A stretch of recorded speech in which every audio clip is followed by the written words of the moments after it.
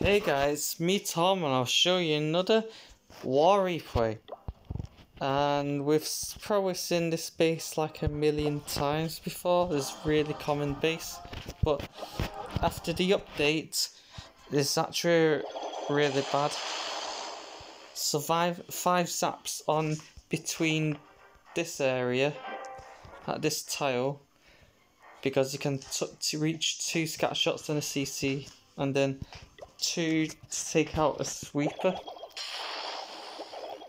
And then the earthquake takes you know. Unfortunately the town hall gets activated but what can you do? At least the two scat shots and a CC are down. Now as everyone knows, these kind of teaser bases, they're extremely trapped on one side. So, better to be safe than sorry. Didn't re- well, you could use headhunters if you wanted to, but you'd probably better not, not to because, like I said, Town Hall does splash damage kind of onto five targets, so yeah, the headhunters won't last long, even if the enemy here is on the outside.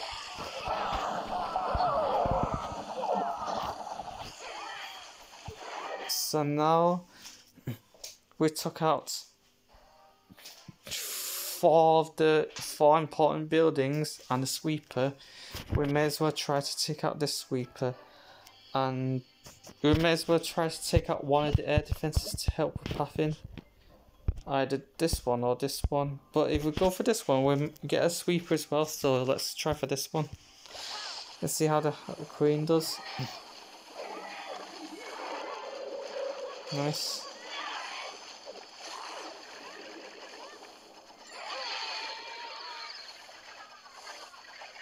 Unfortunate that the RC is kind of getting held up a bit.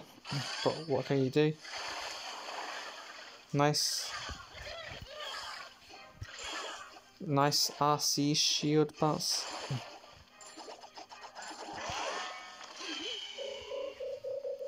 Okay, so now we got like a big hole from here.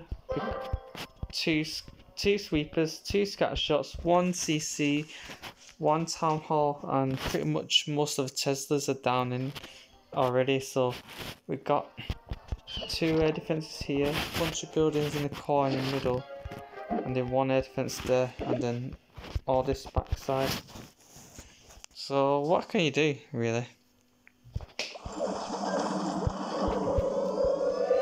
well let's just pretend the lava loon wasn't there if it came from this side then the hounds would initially be here and then they would fly they would split off, split off to this direction and also this direction so no good if you start from here.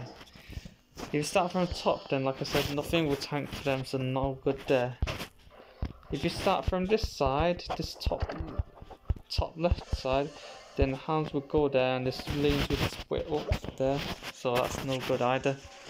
The ideal way is probably to start from bottom left so the loons will probably group up towards the top left where the hound will be tanking defenses so yeah let's try that and then the slam coming in from the back end because slam it doesn't uh, doesn't go directly for air defenses so they could tank the wizard towers on the backside so but yeah the good nice pathing is made at the moment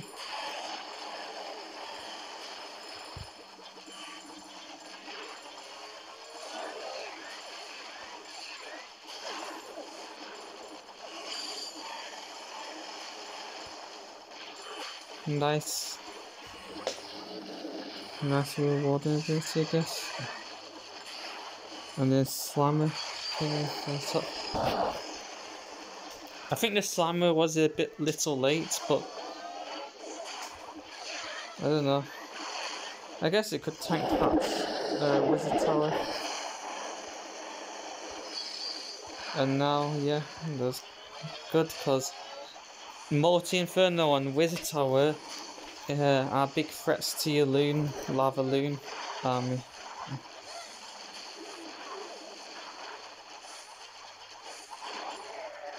Nice. So now, that was good. Now it's up to clean up. And we're lucky that we got a few pups from the exploded lava hounds. The reason why this was a free start with this zap Lalo. Number one, zap value. took out one sweeper, two scat shots, and CC. That's huge value. Then with this teaser base, you send in two ice golems at the bottom, suicide heroes. Takes out uh, RC, King, Queen, Town Hall, and like a Tesla fan. And with the RC, you can push in and take out air defense, take out the second sweeper, and make pathing for your initial Lalo entry point. And then did the Lalo clockwise, yeah, clockwise rotational, and then with the slammer on the back end.